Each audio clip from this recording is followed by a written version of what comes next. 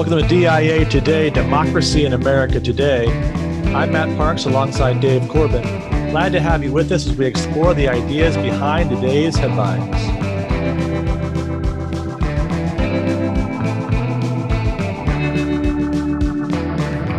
So, last day in Texas, huh, Dave? Last day, I know. It's uh, amazing. The summer's uh, flown by. Uh, we've uh, had a great time. Uh, met our neighbors this week. Well, we've met our neighbors before that, but uh, had a barbecue and really enjoyed uh, this last week. Um, but California, on to California tomorrow through uh, Arizona. We'll stop at Tucson and, and hopefully arrive in Pasadena Sunday evening. So, yeah, it's it's gone by too quickly, but it'll be good to get back to work and um, and to see colleagues and soon see students. It all starts up two weeks from tomorrow. So, how about yourself? How are things?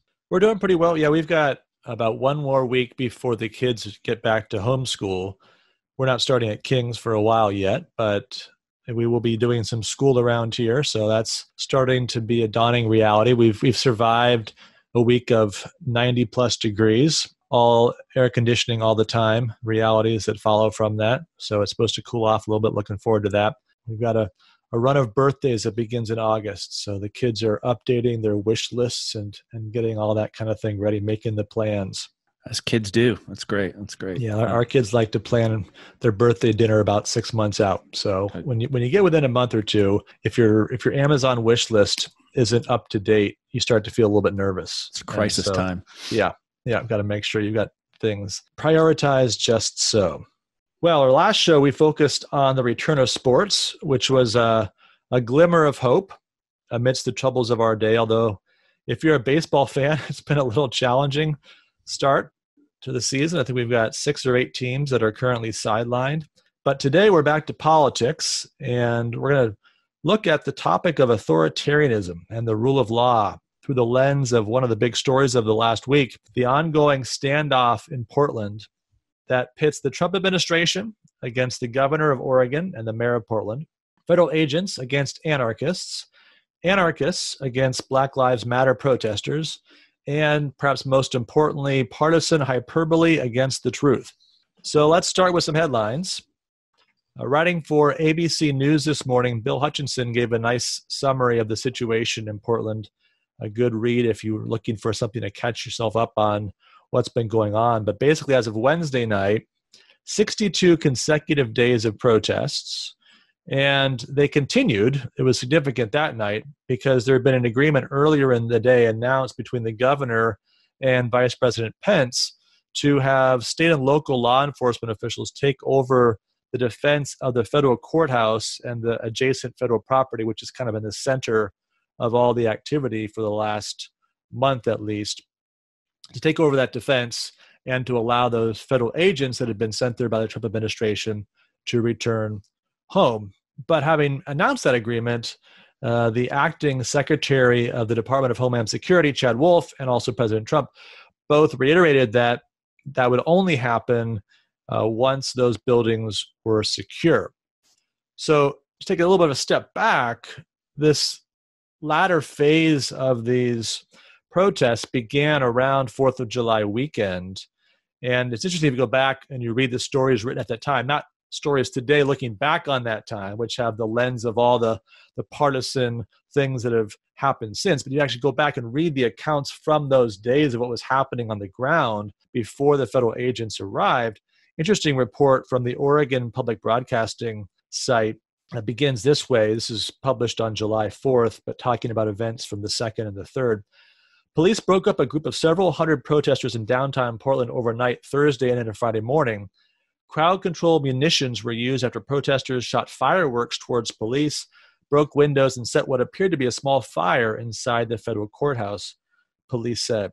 And on Friday afternoon, so that would be July 3rd, Portland Mayor Ted Wheeler called for an end to the protests that have turned violent. Now, it was the next day, as Reuters reported last week, that Department of Homeland Security began deploying the federal agents, including members of its Rapid Deployment Force, in a mission that's been uh, codenamed Operation Diligent Valor. And altogether, there's been 114 federal law enforcement personnel that have been sent to Portland. So that's that's kind of the background And what's striking, and we're going to get into next, is the political reaction of all this. So let's start with a few comments on the left. Here's Ryan Cooper uh, at The Week in a piece entitled Why Trump's Invasion of Portland is Textbook Fascism. Kind of gives away the argument right there in the title, but here's, here's how he presents the events that we've just summarized. As of early July, the Black Lives Matter protests in Portland had dwindled to a relative handful of people, some of whom had done some vandalism here and there, mainly in and around the federal courthouse downtown. Locals report that many Portlanders have begun getting rather tired of the protests, viewing them as more self indulgent than something with an identifiable goal.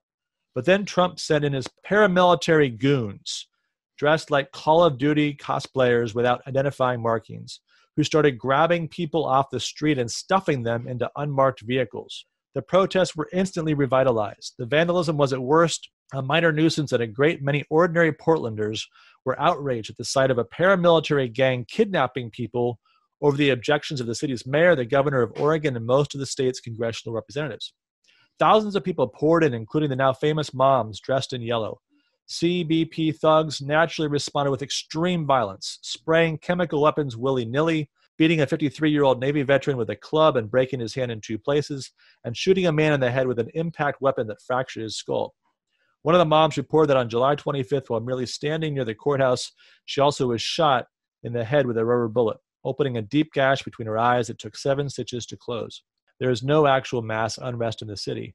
And insofar as there has been any unrest at all, CBP paramilitaries are primarily responsible for instigating it and have committed virtually all of the actual violence.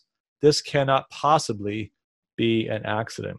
And that's the setup to the analysis of how this is ultimately a, a fascist play by by President Trump.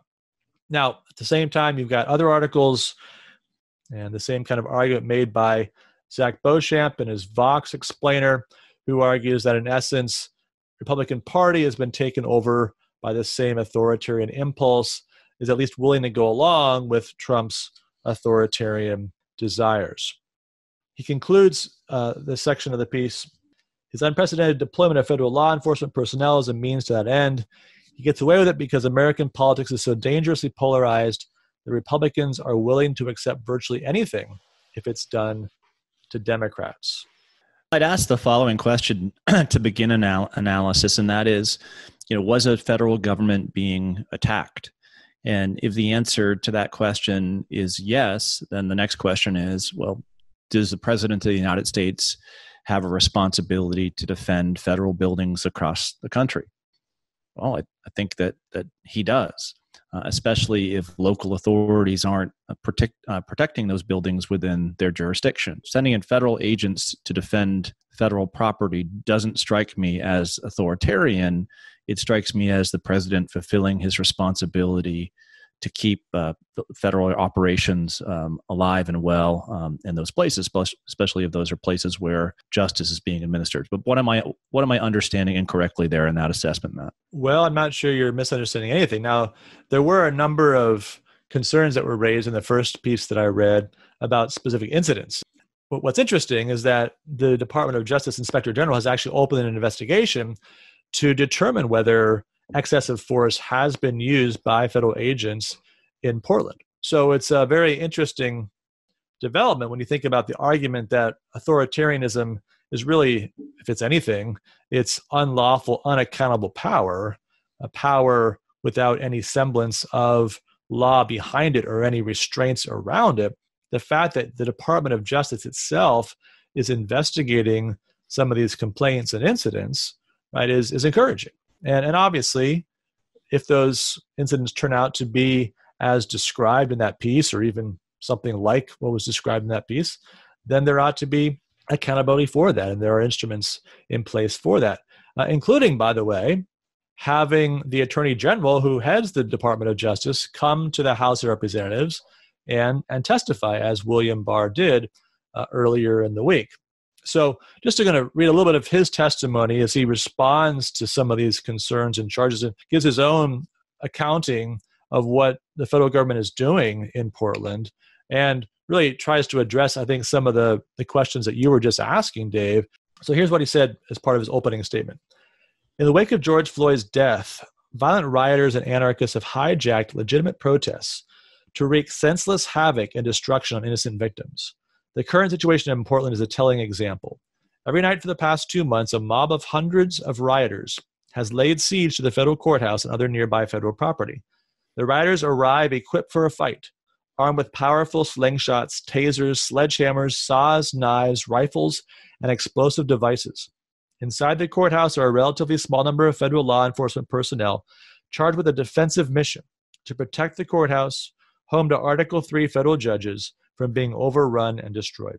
What unfolds nightly around the courthouse cannot reasonably be called a protest. It is, by any objective measure, an assault on the government of the United States. In recent nights, rioters have barricaded the front door of the courthouse, pried plywood off the windows with crowbars, and thrown commercial grade fireworks into the building in an apparent attempt to burn it down with federal personnel inside. The rioters have started fires outside the building and then systematically attacked federal law enforcement officers who attempt to put them out. For example, by pelting the officers with rocks, frozen water bottles, cans of food, and balloons filled with fecal matter. A recent video showed a mob enthusiastically beating a deputy U.S. Marshal who was trying to protect the courthouse, a property of the United States government funded by this Congress from further destruction. A number of federal officers have been injured, including one severely burned by a mortar style firework, and three who have suffered serious eye injuries and may be permanently blind. Largely absent from these scenes of destruction are even superficial attempts by the rioters to connect their actions to George Floyd's death or any legitimate call for reform. Nor could such brazen acts of lawlessness plausibly be justified by a concern that police officers in Minnesota or elsewhere defied the law. So you see the way he sets up the argument this is a defense of federal property, and there's an obvious disconnect between anything that would be accomplished by what the rioters among the protesters are doing and any legitimate response to the death of George Floyd. And on that last point, interesting further piece from that ABC article that I mentioned earlier, showing some of the dynamic within the groups that are gathering there in Portland. So, this is the reporter writing In recent days, as vandalism, attacks on police, and fires ignited in the streets have increased, protesters have become split between those bent on destruction and those who believe the peaceful actions of the Black Lives Matter movement are being drowned out by demonstrators and agitators pushing violence as a means to achieving their goals. On Tuesday night, the difference in philosophy played out in the streets of Portland when a white protester dressed in riot gear set a sizable fire in the middle of a street. A Black Lives Matter protester who identified himself to ABC News as Neji ran over and put the blaze out in an incident caught on video. The white protester in full riot gear responded by yelling, Light the fire again. A frustrated Neji yelled back, trying to explain that inciting violence and destruction was taken away from the BLM message. The white protester responded, They burned down one police building in Minneapolis and they defunded the police department. So there's the political bottom line. Right? You burn down buildings and you get what you want. It really is amazing when you think about the destruction that's taking place or the hope for destruction, you you wonder what it would take to open uh, many eyes to to the problematic nature of of this violence. I think back to 1995 and that horrific bombing of the Oklahoma City federal building by uh, Tim- Timothy McVeigh, and what our rightful response of indignation was to that horrific act of violence. Why isn't that the case now? Is it just that it's just not a mass amount of death? There's not a hundred people that have been blown to pieces uh, by by the actions of of a violent party, and will it take that for the country to wake up uh, to the reality that uh, anarchy is no good uh, for the country? Um, uh, mobs um, uh, spreading you know violence and, and intimidation uh, is no good for the country. I, I just don't know, Matt. I, I I don't understand this this willingness to accept these tactics uh, as a legitimate uh, type of um, protest. You know, this lack of proportion that's causing trouble on on both sides as we try to understand the broader story of what's going on here. On the one hand, you've got the deploying of 114 federal agents to defend a courthouse in Portland and that's authoritarianism. That's fascism on its way to America. 114 agents defending a courthouse in one city. Um, but then on the other hand, you know, you've got President Trump sometimes and others around him talking about universal anarchy, right? As if the whole city of Portland or the whole state of Oregon or whatever is all being given over to this. So, you know, there's just an unwillingness for people to address problems in the context in which they actually exist and an, and an unwillingness to speak in, in proportionate terms to the situation. Right? It's, it's right to identify the anarchy and the anarchists as a problem that needs to be responded to. And it's right to respond to that in a way that secures federal property. But it's unnecessary to turn this into something bigger than it actually is on either direction. Right? And I think that's, you know, everyone's kind of looking for that moment where they can prove their thesis, right? That America is going this way, irretrievably lost in this direction, or irretrievably lost in that direction. I've been saying all along that if we had four years of Trump, this is how we are going to end up. We had four years of Antifa out there in Portland, this is where we're going to. Everyone wants to be right, and they're looking to be able to lay claim to being right the moment some incident happens that if multiplied 10,000 fold would actually be the thing that they predicted rather than having some sense of proportion and ability to evaluate these events in in their proper context, uh, which doesn't require that we ignore in either direction whatever concerns there might be, but but we can turn the temperature down just a little bit. And if there's anything that's central to the purpose of this of this podcast, that's what it is, right? To to get some perspective on on headlines that that require this urgent response from us all the time. So let's let's turn to our required readings and get some of that perspective. Great. So I have three pieces that I'm going to assign for required reading for today. The first was a, a book um, from a study uh, written in, in, 1950. The most famous author uh, of the book was a man named Adorno, and it was titled The Authoritarian Personality. Uh, the second assignment is an essay by Hannah Arendt, who we've referenced other times on this podcast, titled What is Authority? An essay she wrote in 1954, three years after uh, her uh, famous work on totalitarianism. And then the third work is an essay written by Pierre Manent titled The Return of Political Philosophy, an essay uh, that was part of a speech that he gave in, in 1999. So I think what we're going to try to do, Matt, with the required reading is try to dig deeper into uh, what authoritarianism is, uh, how it uh, differs, if it differs at all, from totalitarianism, from fascism, from tyranny. Uh, these are, are terms that are often kind of flown around, um, pasted upon people with the idea that um, you can simply call someone something without understanding what the term means. And this is, in, in fact, um, a little bit of what I think was taking place uh, with this controversial 1950 study. The study was uh, was commissioned uh, because of uh, the awful history of the 1940s, uh, the rise of fascism uh, in Nazi Germany, the anti-Semitism that went along with it, and the question that the individuals who put on the study asked is: Is there an authoritarian personality that we can identify? Are there certain um, habits of that authoritarian personality that you can quantify? And if so, um, can we can we figure out uh, who the authoritarians are, um, how they're created, and and, and hopefully um, be able to undermine the recreation of this authoritarian mindset from one generation uh, to the next.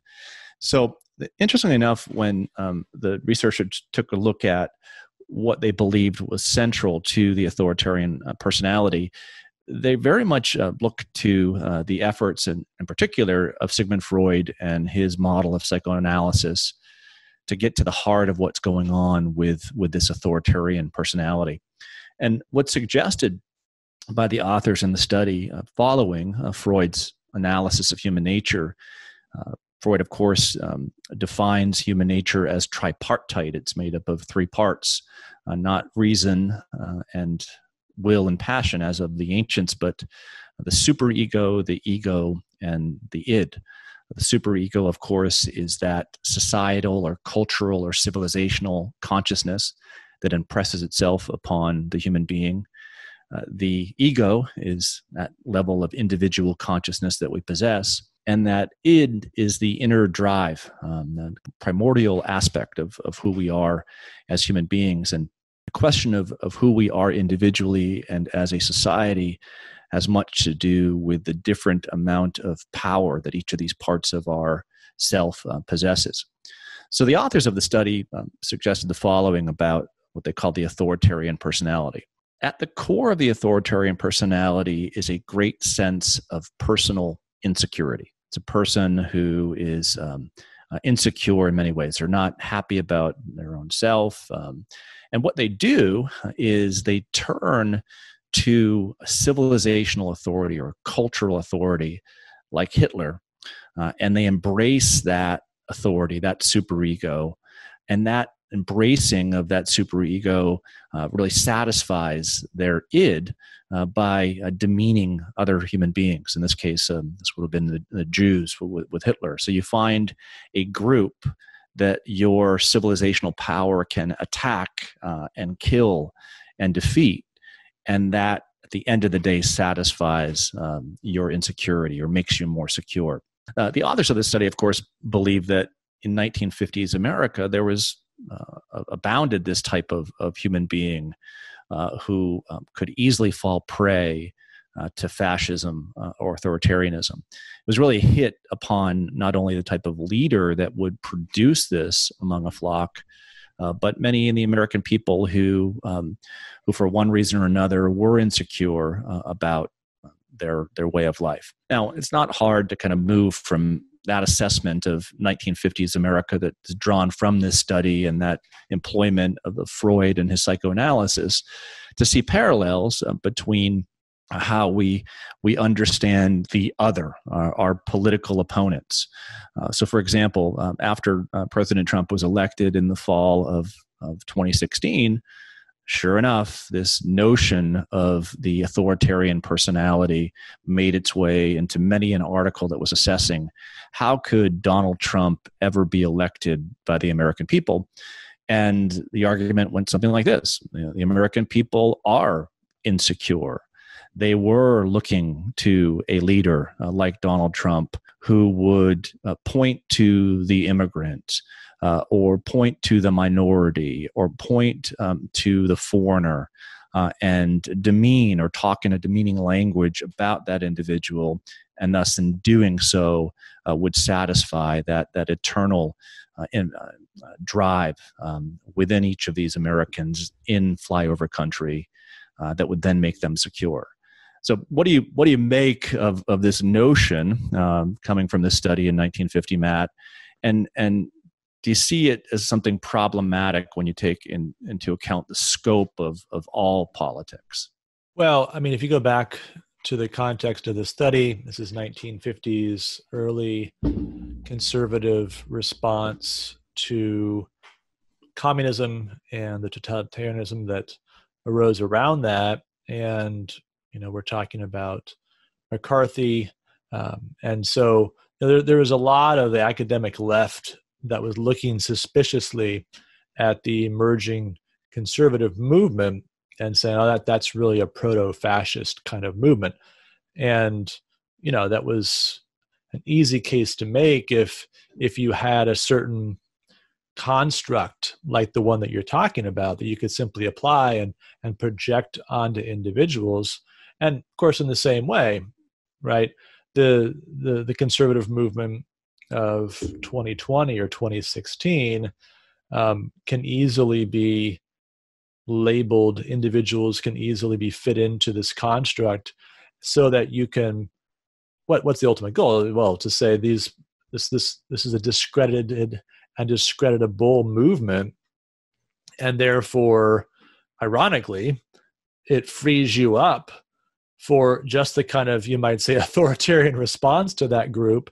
that that you're accusing that group of being willing to use against its own opponents right? One of the ways in which we use these kind of labels whether it's fascist or authoritarian or whatever is is not just to describe a present reality or to anticipate a threat a legitimate threat but in particular to define certain people as being out of bounds, right? This is how you have your deplorables or whatever the label might be that you don't have to listen to.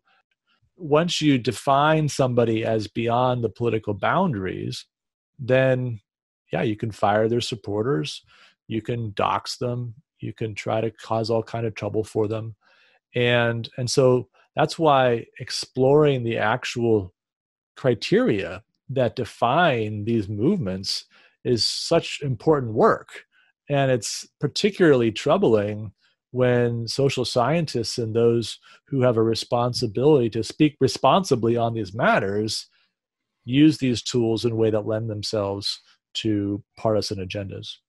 Yeah, which was a, a big problem, by the way, with this study, because of course, not only do you see the rise of, of, fascism in the first half of the 20th century in its ugliest form in, in Nazi Germany, but you also see the rise of communism. You, know, you have uh, your Lenins and your Stalins in the world, and there was no application of the authoritarian thesis to men and women on the left. Uh, it was simply um, a, a charge made to a certain type of right wing personality. And I think you know it'd be interesting, right, uh, to uh, if the if the theory has anything to it, to apply that theory across the political spectrum. You could say very much that there's a certain uh, personality prone to an adoption of Marxism that might fit into your uh, Freudian psychoanalytic model. Or, never mind, um, uh, Tocqueville describes a soft despotism in Democracy in America.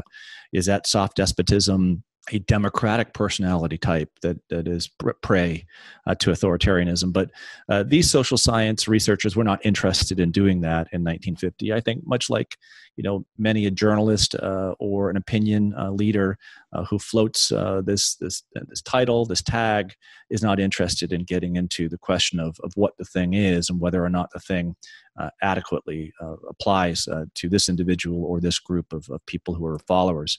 Uh, anyway, I want, I'll move on uh, to um, to my second required reading, which I, I think uh, does a lot of this kind of um, differentiating between different types of um, political behavior that is is problematic. I mentioned that Hannah Arendt had written the "Origins of Totalitarianism." In 1951, and in a later essay, uh, What is Authority, written in, in 1954, uh, she interestingly takes a look at the differences between authoritarianism and totalitarianism and, and makes an argument that there's a relationship between the growth of modern totalitarianism and the disappearance of legitimate authority. So she writes the following at the beginning of her essay It is my contention that authority has vanished from the modern world. Since we can no longer fall back upon authentic and undisputable experiences common to all, the very term has become clouded by its controversy and confusion. Little about its nature appears self evident or even comprehensible to everybody. So here Arendt says something very interesting at the beginning of her essay. Authority, in and of itself, is important to the proper functioning of politics. You might say in the modern world, authority is important to the proper functioning of politics, as is freedom. But if authority gets a bad name, if there can be no common authority present, then this leads to another type of crisis. And, and she says this is a type of crisis that existed uh, within the 20th century. All of these political movements, she writes, that were intent upon replacing the party system and develop the development of a new totalitarian form of government took its place against a background of a more or less general, uh, more or less dramatic breakdown of all traditional authorities. We need authority. But what type of authority do we need to secure ourselves against what she believes is the real danger, which is the prospect that we might embrace totalitarianism? Well, the real type of authority that we need, she argues, stands between force and persuasion. There's a ter- certain type of force that you can employ, right, to get someone to do what you want them to do. That's not what she means uh, by authority. Uh, it's the employment of um, uh, physical means to, to get your way. But authority is not, likewise not defined as persuasion. Uh, it's, it's really kind of a, a reverence paid to an idea or to a way of thinking that has proven itself correctly. Uh, and she says that in, in the West, this idea of uh, this particular type of authority that falls between force and persuasion had uh, from the ancients, from Plato and Aristotle, through the Roman Republic and Roman Empire, through the Holy Roman Church, and, and through the Reformation, and finally uh, to the building up of modern society, had become more and more prominent and more and more central to the human experience, uh, particularly in the West. But then what happens at the end of the 19th century, uh, due to the growth of nihilism and, and other uh, relativism and all questioning of whether or not there are absolute truths, this authority is put in, into a defensive position, and finally, uh, it's somewhat removed from the political equation uh, altogether. So she, she says that quite interestingly, what happened, right, is that at the beginning of the modern world in particular, those modern political philosophers that wanted their followers to question the authority of the church, uh, the authority of transcendent truth, believed that if they placed authority within the political realm, within the city of man, uh, that this would be a type of authority that uh, we could abide by. It could structure society. We could practice a modern science of politics uh, where authority was rightly appropriated to representatives, etc., uh, and the political picture would take care of itself. But what Arendt is arguing here is that that same doubt that's cast upon transcendent authority eventually by the end of the 19th early 20th century makes its way into a casting of doubt upon um, immanent authorities. Well you know to go back where you started talking about power on the one hand persuasion on the other and then authority in between. I think we we we often talk on this podcast we often write teach about the importance of of persuasion but we recognize that it's impossible to persuade everybody of every point starting at the very first premise of every argument this is a point that de tocqueville makes uh, quite eloquently in the second volume of democracy in america where he talks about every every society has to have a source of authority of some sort you, you can't individually come up with your own judgments about every question. You have to rely on somebody's judgments. And so, if it's not going to be some transcendent authority, and if it's not going to be some, say, politically legitimate group of people that we recognize as, as our superiors in some sense, then who's it going to be? Well, de Tocqueville says in a democratic society, it's going to be the majority. We're skeptical of tradition in democratic societies. We're skeptical of individual claims of authority. We, we trust our own individual judgment, but overwhelmed by all the different decisions we have to make and all the different circumstances we find around us in a very dynamic, modern, democratic society, we look to the majority to supply those opinions that we can't otherwise generate on our own. Yeah, and here it's interesting you mentioned de Tocqueville because I think uh, Arendt very much falls in line with a lot of de Tocqueville's thesis regarding uh, this this um, kind of balancing or the, this need for an alliance uh, between um, the spirit of religion and the spirit of liberty that that one can't properly exist without the support uh, of the other. And and Tocqueville's also his, his mentioning of the United States as a peculiarly different um, politi- a modern political movement because it's there where Americans, at least originally, uh, are willing to adopt and embrace the idea of a moral dependence upon godly authority or the authority of nature or nature's God. Uh, and but on the other hand, um, a, a, willingness uh, to embrace a desire uh, for liberty. That that this combination, this hybrid of of moral dependence and political independence can actually create human flourishing whereas the tendency in the modern world especially in, in europe and the european revolutions that took place were to be either all in for authority and believing that the proponents of liberty were anarchists or all in for liberty and believing that any anything that uh, represented tradition uh, needed to be um, uh, removed uh, from from society. So uh, Arendt argues here that um, the, the, liberal and the conservative, or the modern liberal and conservative, they ought to be working with one another to define the proper limits of authority and liberty. But instead of working with one another, the danger in the 20th century and 21st century is that the modern liberal and the modern conservative point their guns at each other. And this allows for the creeping in of a totalitarian climate and a totalitarian takeover of both the liberal movement and and the conservative movement. So I'll, I'll, end by saying this on the piece. One of the great things that she does, most of um, uh, former students kind of know that I really love drawing pictures of squares and circles and triangles, and that I'm quite an excellent artist. Right, you have an amazing that, gift. There's no doubt about it. Yeah what I can do with a stick figure is like uh, like no other professor in the country, and I'm not. I mean, that's not an overestimate of my abilities, but well, one of the geometric shapes too. I mean, don't don't sell yourself short on three dimensional boxes. And, I do, and, I and I put I actually I kind of put them in motion as well. Um, it's it's it's amazing. I, I, I can't wait to get back to the classroom and be able to draw on a whiteboard. But uh, kidding aside, um, I, I, think that um, there's there's one picture that that Arendt draws here that I think would be very, very helpful for us just to to think about, you know, moving forward and trying to distinguish between these different types of isms that that we may not uh, like or, or, or want. She says that um, a lot of the governments that existed up until the modern age were in many ways authoritarian. And if you were to draw a picture, a geometric model of what that authoritarian government looked like, it would be a pyramid but what held that pyramid back from being something that was dastardly to the people who lived under it was that whoever was at the top of the pyramid pointed to a source of authority outside that pyramid, pointed to a source of authority that was an absolute truth that must guide that person's action, or at least help to guide that person's action.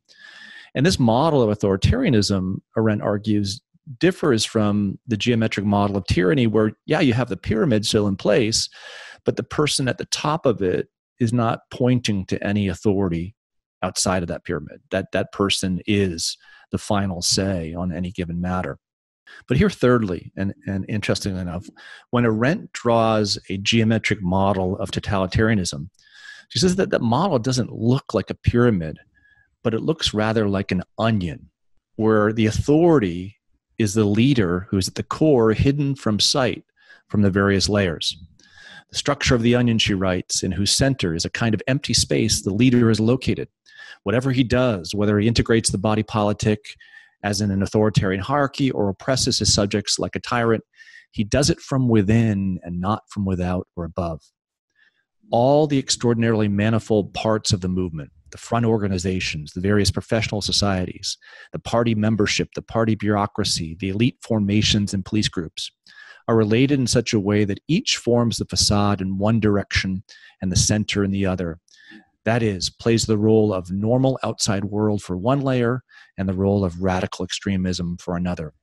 The great advantage of this system is that the movement provides for each of its layers, even under conditions of totalitarian rule, the fiction of a normal world along with a consciousness of being different from and more radical than it. I mean, this is a reason why Arendt uh, is uh, is most frightened uh, by the prospect of totalitarianism. It's a type of authority that's held over you without you being able to figure out who's actually doing X, Y, and Z. You have to you have to peel off the various layers of the onion uh, to get to what is driving it uh, at its core. So um, she ends her piece by asking whether or not modern liberalism and conservatism are up to the challenge of totalitarianism. Uh, it would take, uh, and I agree with her here, it would take an education uh, in the building up a proper authority of understanding Plato and Aristotle, understanding Roman civic traditions and their appropriation of the Greeks, of understanding the church fathers and Augustine and all the rest uh, to realize um, how we've fallen into this predicament and what the decline of the West uh, means. But uh, definitely an interesting, um, kind of an interesting argument that, you know, in an age where you want to label someone as authoritarian, as you might want to remember what is good authority and, and how does good authority operate within a flourishing uh, political uh, system. Uh, one other thing I'll mention, because I, I, know this is of interest to you, Matt, um, she references the American founding fathers near the end of her piece as really kind of the quintessential um, moderns who understood uh, authority correctly. What what do they get right about authority that I, that secures, or at least initially secures us against uh, the formation of totalitarianism uh, in in this country? I guess I'd say probably two things. Number one, they they had that ultimate reference point, and so you think about the opening passages of the Declaration of Independence we looked at a few weeks ago, and the invocation of the laws of nature and of nature's God, and the reference to Creator that gives a shape and structure to political life, all of life. Uh, but then also, when it came to political authority, they always would wed authority and responsibility. And so you find this especially in the Federalist, with this very careful consideration of how do you ensure that wherever people have power, there's responsibility for that power. And so to think about human authorities being subject to all the, the weaknesses of our selfishness and our inherent flaws, needing to be accountable for their authority. And in other words, the opposite of what you're describing with that onion, we should be able to point to this person as having acted in such a way that caused this action. And if that action was wrong, we should be able to have some method of holding that person accountable, whether that's through elections or whether that's through hearings. These are the kinds of structures that you put in place because we recognize that human beings wielding power will do so in ways that advance their own selfish good or the good of, of a cause that's only seeking the partial good, not the whole of justice, unless there are ways of holding them accountable for the right use of that power. And the, the Arendt's uh, uh, geometric uh, description of totalitarianism begs the question: Well, what what's at the core of, of the onion? Uh, is this kind of a, a, Marvel Studios movie where there's just some evil presence there from outer space, some alien force that is driving us to do uh, X, Y, and Z, or or can we, using political analysis and using an assessment of uh, phenomena of the 20th and 21st century uh, come to grips with with what may be at the core uh, of this onion which is where i want to turn to in the third thing that i assign uh, for today and that is uh, the Manent uh, essay from a speech the return of political philosophy where Manent takes a look at the problems that political philosophy and political philosophers have had in the 20th century trying to come to grips with the phenomena of the 20th century. and here, Manent highlights uh, the role played by Leo Strauss. Uh, to uh, to really understand uh, what was taking place in the 20th century, uh, much like an Arendt was trying to understand take, what was taking place in totalitarianism, Strauss also um, uh, was trying to figure out how do we get to Nazi Germany, how do we get to the growth of Soviet communism, what what happened, and in following Strauss, Manent suggests the, the following that we ought to look back to the classical political science of Plato and Aristotle because these classical thinkers understood the regime type that makes itself apparent in the 20th century, and that regime type is the regime of the tyrant. Now, Strauss uh, notes carefully avoids the word totalitarianism uh, when defining modern tyranny. But Strauss has something different, um, and it, it's kind of interesting here. He says that um, the classics, the classical thinkers like Plato and Aristotle, they understood tyranny well, and they even understood uh, that there could be the prospect of a, a, modern tyranny. It did not elude their grasp. So Strauss, uh, argues carefully avoids using the word uh, totalitarianism in his description of what's taking place uh, in the middle of the 20th century. Uh, in, instead, he says that um, really what is happening is, is, is the production of a modern type of tyranny. Strauss writes. present day tyranny, in contradistinction to classical tyranny, is based on number one, the belief in the unlimited progress in the conquest of nature, which is made possible by modern science and number two, the belief in the popularization or diffusion of philosophic or scientific knowledge. Let me just take a step back real quickly. So, the difference between classical tyranny that is lawless and modern tyranny that is lawless is that the modern tyranny that we see in the 20th century was A, driven by the belief that the conquest of nature was possible, and B, that knowledge, philosophic and scientific knowledge, could be popularly diffused. So you say to yourself, well, what's the problem with with either of these things? Why would it be tyrannical to want to conquer nature? And why would it be tyrannical to believe that philosophic or scientific knowledge could be popularized or diffused? So, where's the tyranny in modern tyranny? Strauss says the tyranny in modern tyranny lies in its unnatural character. The fact that these two goals would be destructive of humanity. Well, why? Because in trying to attain these goals, much like in Madison's description of, of uh, faction or controlling faction in, in Federalist 10, you would have to take away people's liberty and try to make all people alike to achieve your desired universal homogeneous political community. That's what Strauss believes is driving the modern push forward. That's what I think he would argue is at the center of the onion of modern totalitarianism. Uh, this desire to make all people alike, to A, believe they all can be made alike, and B, uh, the desire to do that. And when you take a look at uh, fascism, or you take a look at um, Soviet communism, or you take a look at all of the isms that have defined uh, much of 20th uh, and 21st century um, politics and society, you do see this this effort to kind of create kind of an ultimate resemblance of all people to, to, to be able to categorize all human beings as being one kind of human thing. And i think this is um, this is really a, a, danger that we have to be on the lookout for. And it's kind of interesting when you um, come full circle and you talk about donald trump and you talk about his followers and you talk about how he was elected and, and all the rest. I mean, you, you could make the case uh, that that Trump, uh, as a political force, uh, is a representation of something that uh, cuts away at that onion, or cuts away at the core of that onion, or cuts away at that modern tyrannical project. But then again, on the other hand, you'd wonder, like, does does Trump have any idea uh, of what Arendt or Strauss believed moderns were up against?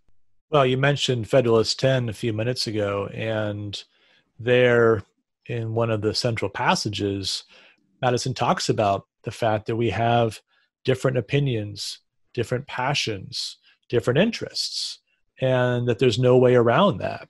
That's part of who we are as human beings, and it's actually the job of government to protect the differences in property in particular that result from that not just differences in amount of property but type of property and the point is people pursue different callings in consequence of having different interests and different gifts etc and so a government that seeks to get rid of those distinctions is on the founder's account acting in a way that's quite contrary to nature.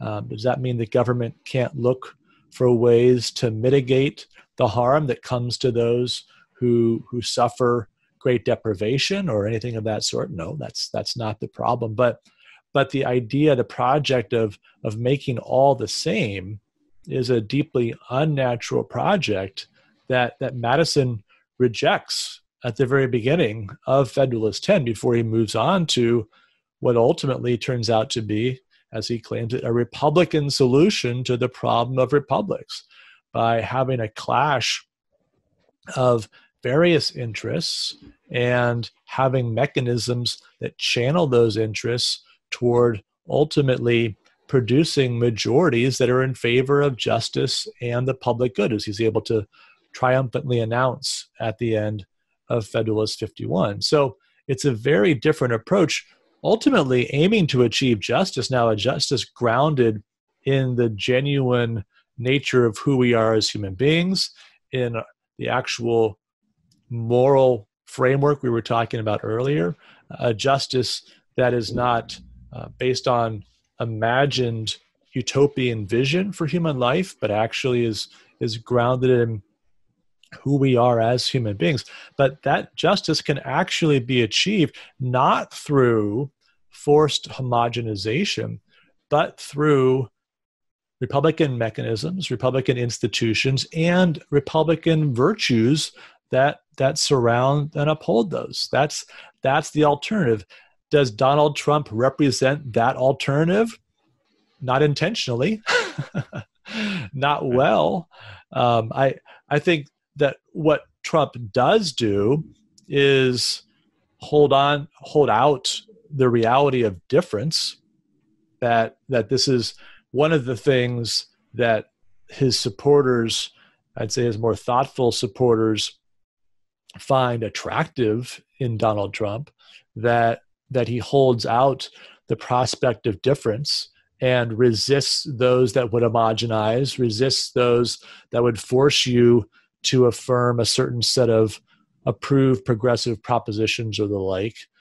But but he does so in, in such a ham-fisted way as to almost discredit the cause and to make it difficult to claim that the defense of difference is is something that can be ultimately noble liberal republican uh, a pathway toward justice. It just seems like being a jerk or being a crank or or enjoying shocking people for the sake of shocking people.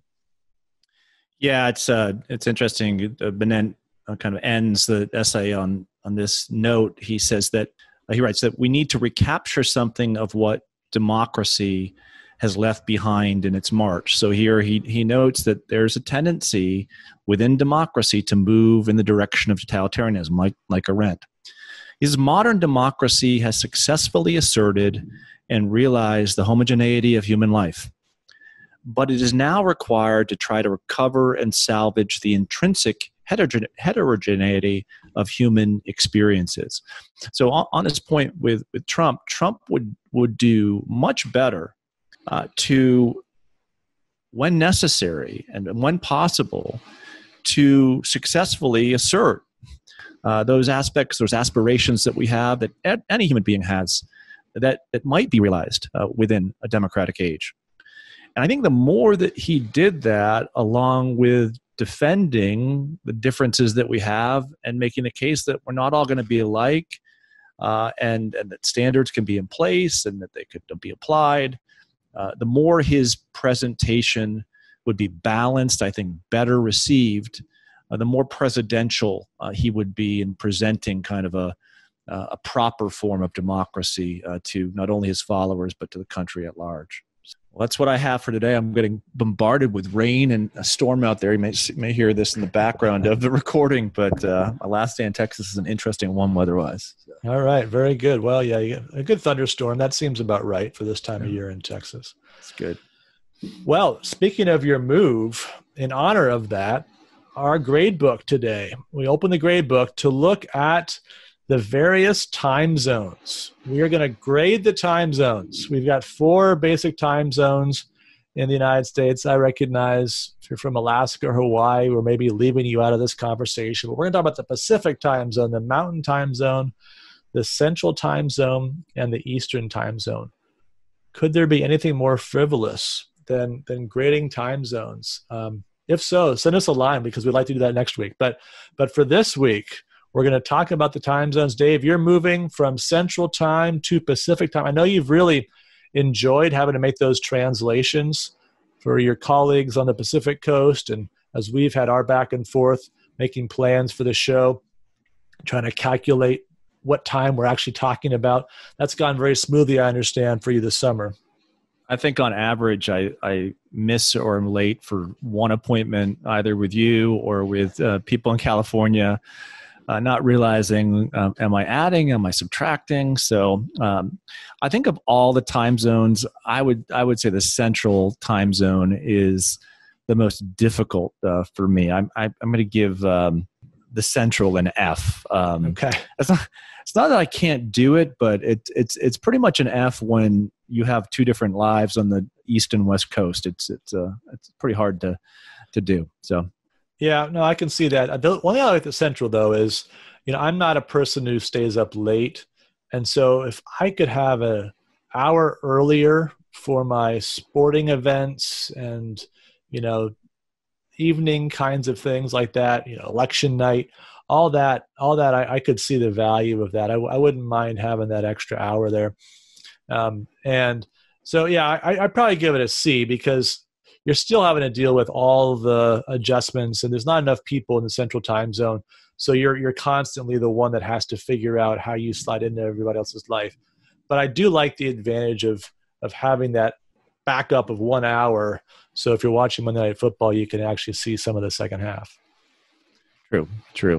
Well, if you like that, then then Pacific uh, time zone is amazing. I mean, I I can't imagine how many fewer baseball, football games I would have watched over the last two years had I been on the East Coast, just because they they go so late.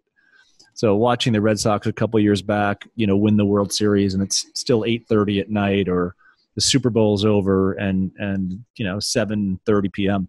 and you can wake up and actually do something the next day. Uh, that's that's been uh, a pretty neat aspect of Pacific time zone life, which I I think I'd give a B plus, A two. I, I, I like I like Pacific time zone. I think I think it's nice. Yeah, we lived out in Washington State when I was in middle school, and we were out there for the 1984 election. And in those days, my bedtime was was pretty early, but because Ronald Reagan uh, totally destroyed Walter Mondale in that election, and because we were out in Washington State, I was actually able to watch the election returns coming in, and and I remember um, just that overwhelming victory that Reagan won. Really, nothing like it in in the years since.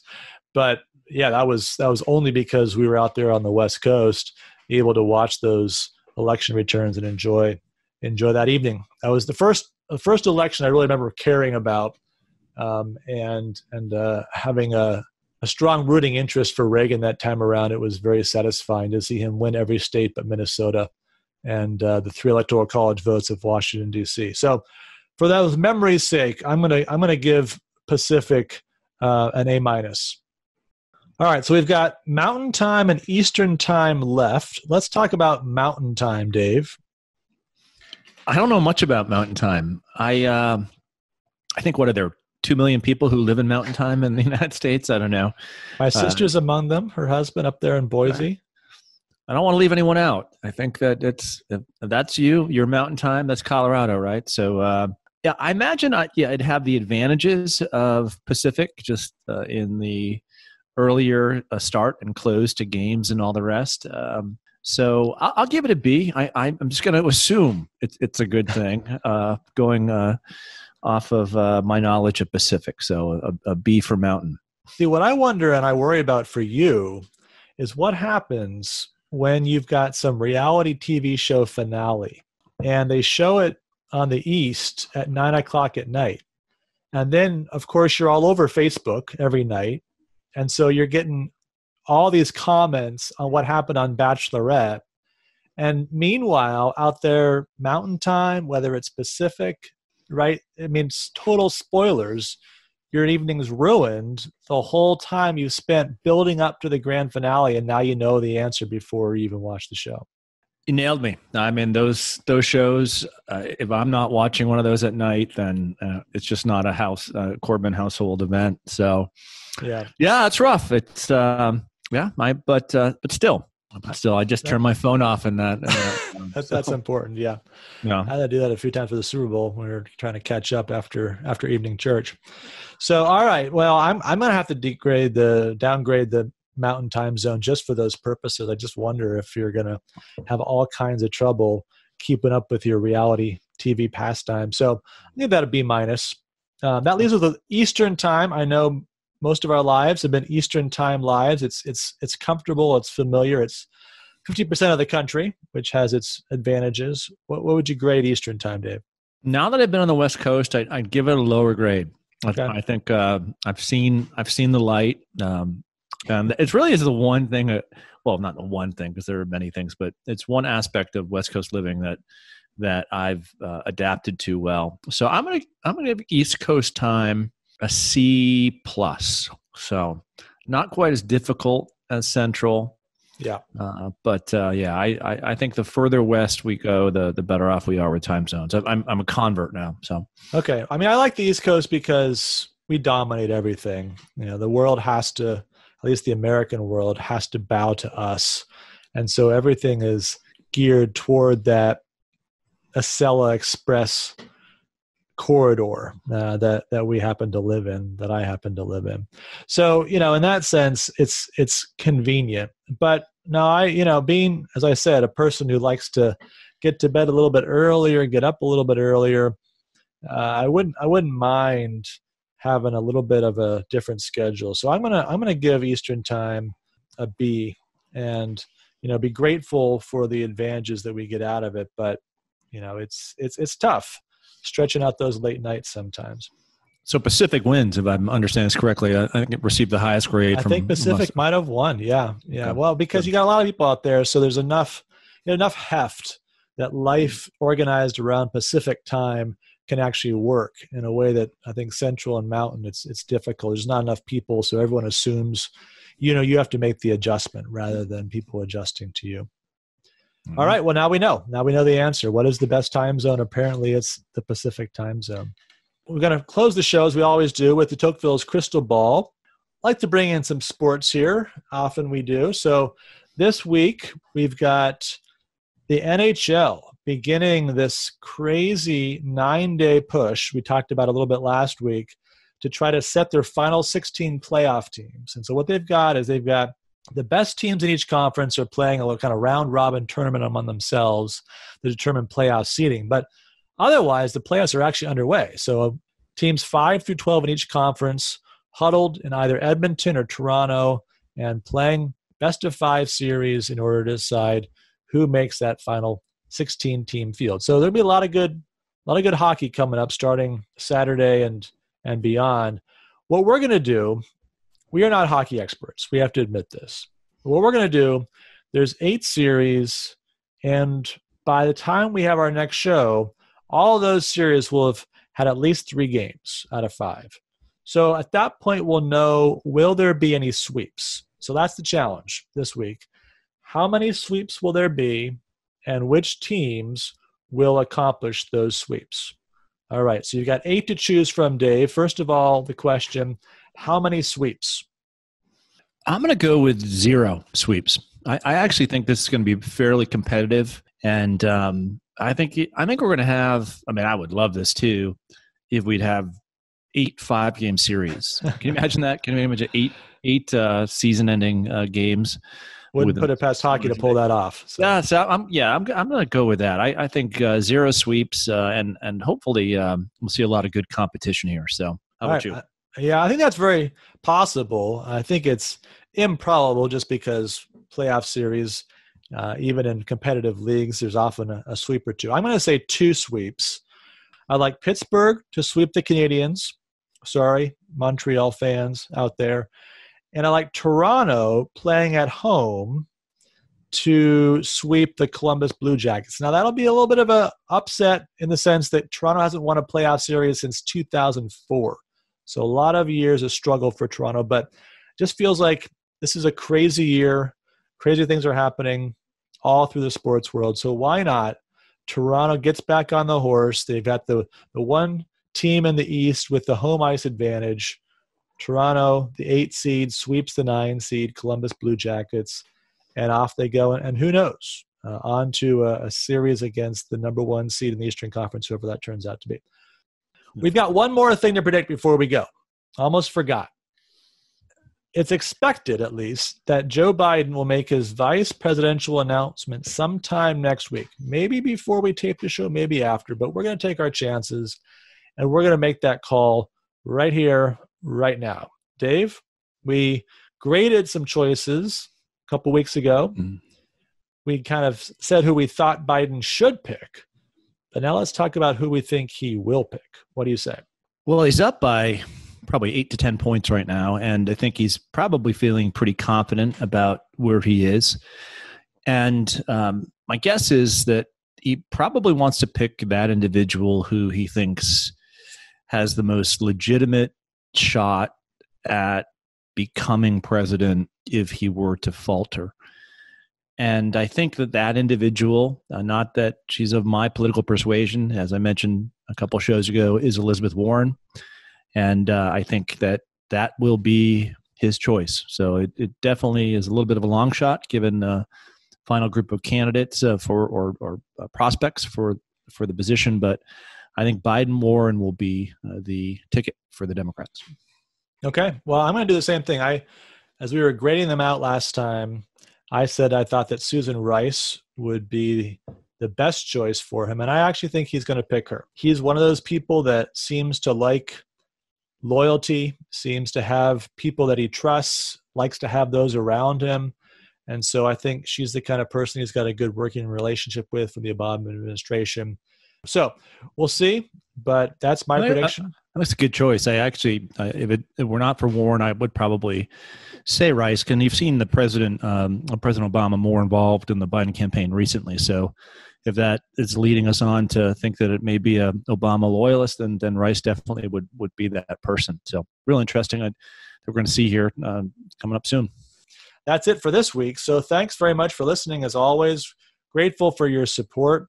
Please remember to subscribe and to review the show on Apple Podcasts, Google Play, Spotify, and Stitcher. And we look forward to talking to you next week.